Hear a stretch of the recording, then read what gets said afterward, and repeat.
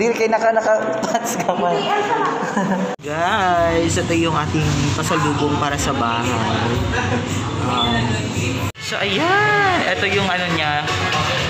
Kaso nga lang wala pa siya dito. San, san, san. Asan na, Dek? Prop. Props. Wala mo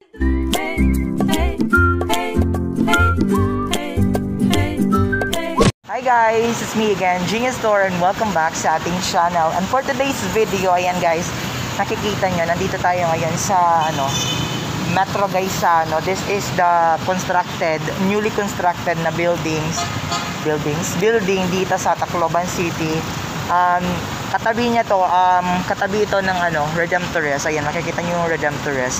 And then of course, kasama ko ngayon si Sansan. Ayan si Sansan. Anyway, ang pumunta kami dito ngayon it's because bibili ako ng ano for my nephews.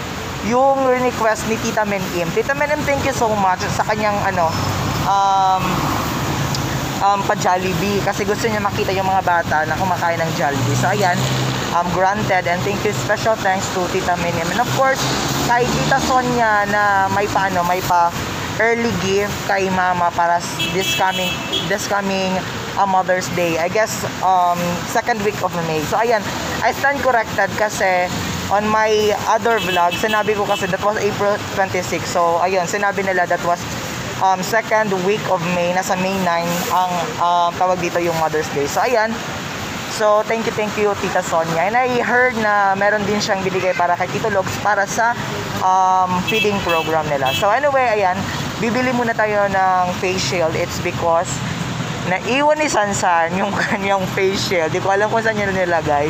Kasi hindi na makakapasok kung walang face shield. So, ayan. Um, siya. Ayan. Nagmamadali siyang bumili ng face shield kasi natatakot din siya. Eh, bakit iniwan kahit saan-saan lang? Bibili na siya ng face shield. Dito saan?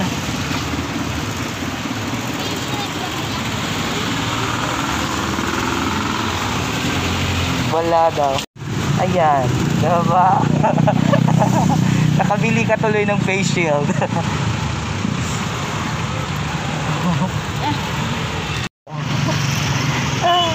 Kanina mo problema siya kasi natatakot siya kasi wala siyang face shield. Tanggalin mo muna rin sa cellophane. May plastic yan.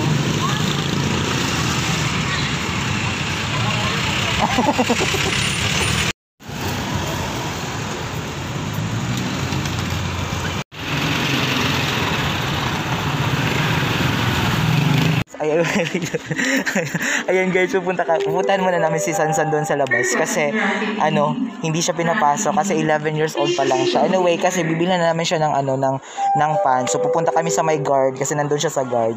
Tingnan natin kung magkakasya sa kanya. So puntahan natin siya. Muna si Miss. ayan, tignan natin si Sansan.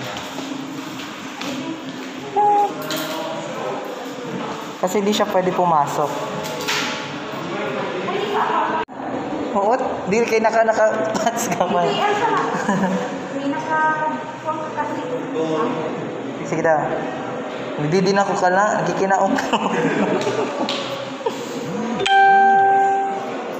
Dalawang ano na niya, hindi pa nagkakasya. Ang laki mo na sana. Tapos may nagkasya. Ito lang siya miss. Sa pag-assist. May bagong ano na siya. may bago na siyang pants. Kasi wala siyang pants. Yung ginagamit lang niyang pants is yung para sa ano sa simbahan. Yung black pants. And ayan. Napag-isipan ko kasi uwi na din ako para may ano may gamitan din, gagamitin din siya pag may ano sila. So ayun, hindi siya nakapasok because hindi allowed yung 15 below. Anyway, punta ta sa fast food chain pero siguro pwede nang pumasok. Oo. Tara. Order na kami. Of course, nag-pick up na rin kami para sa mga bata. And kanina na-amaze ako sa Sugule kasi meron silang ano, bagong new 20 pesos. Ayan. May 20 pesos sila na coins. Bagong 20 pesos. Ayan. Si San San. Thank you.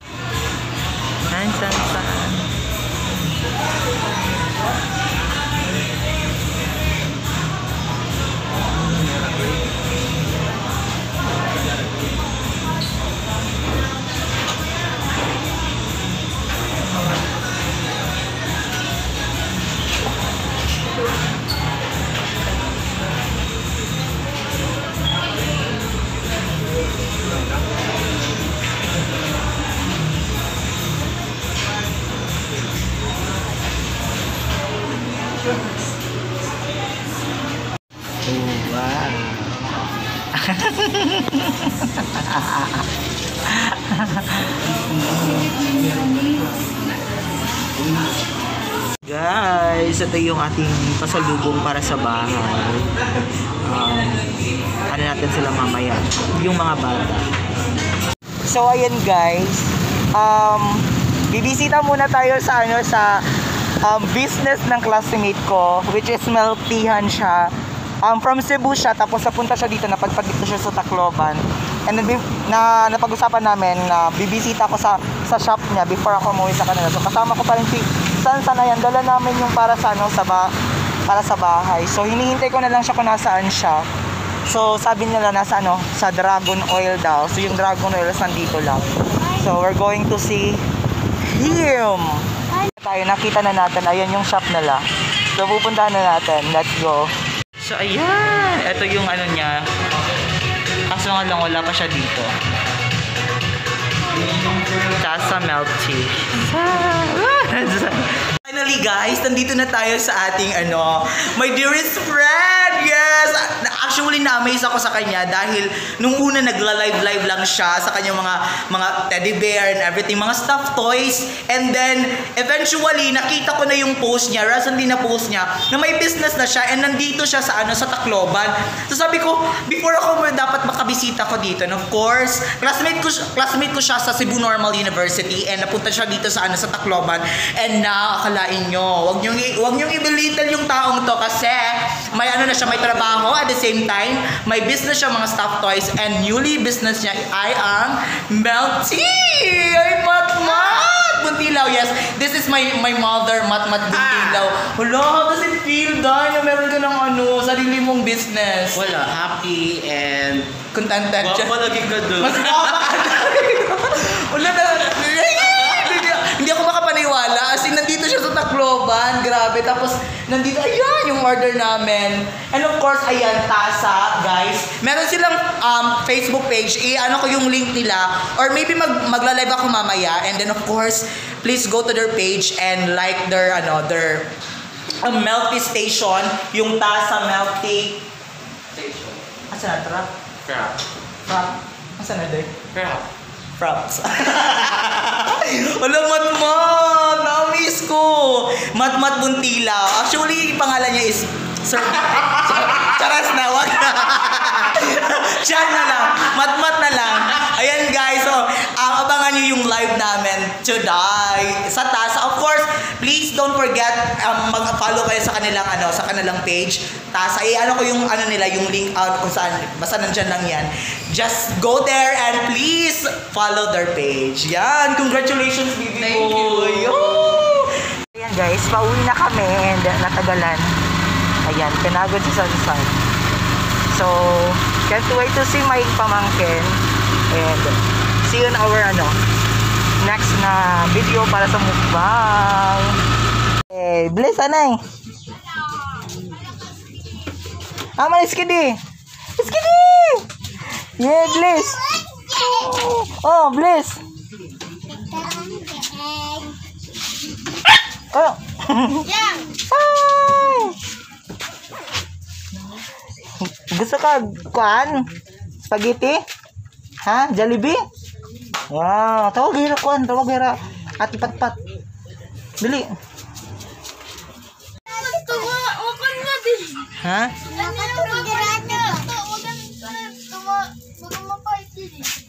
Ray, ko na sila silhig.